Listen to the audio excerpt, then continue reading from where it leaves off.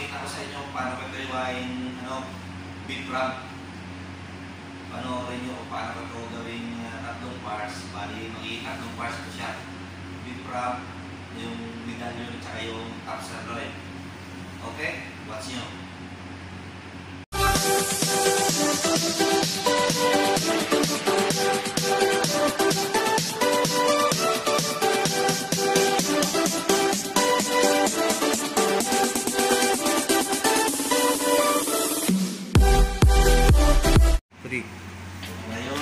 Kabutcher, tatanggalin ko itong top sirloin niya. May joint po dito.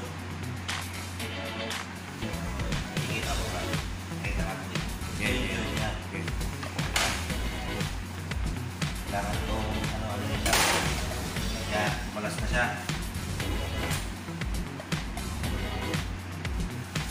Ikan ano pa ako, ikan.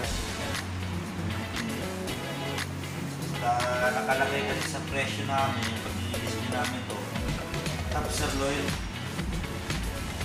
Pero ito talaga siya, kabuuan nito, top sirloin din nakalagay sa ano niya. Yung kabuuan niya, tsaka ito, top sirloin talaga rin yung pangalan niya. Ito, gagawin na namin itong top sirloin, ito isang part niya. Trim muna natin.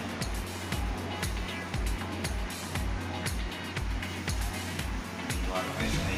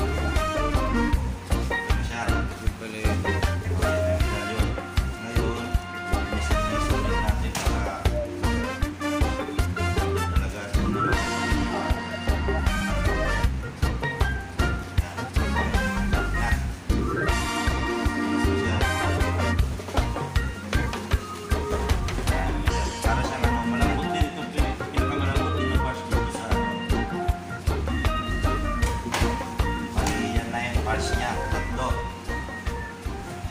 Yan. Pakita mo ba? Sige.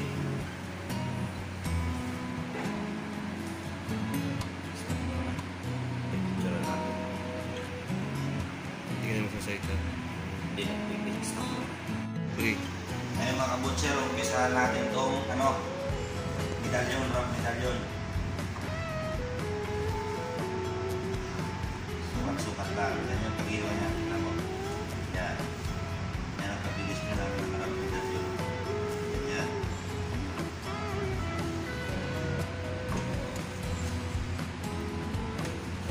Lambot no? Hmm, malambot yung pala sa atin.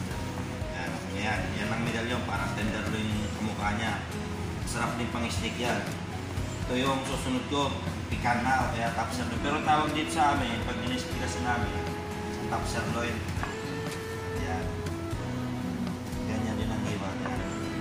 Pareho yung kapal nila para ma-juicy pag uh, ginawang steak.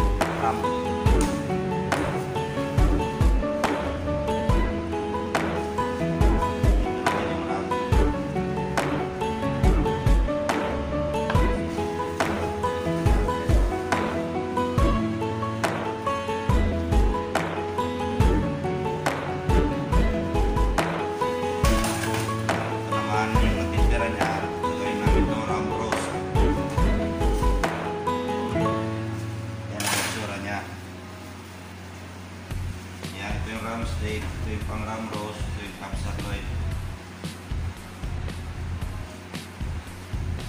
Yan.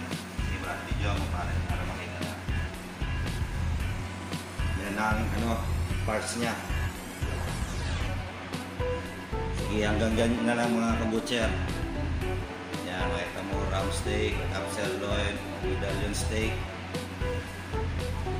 Okay, mga kabutcher, stop na.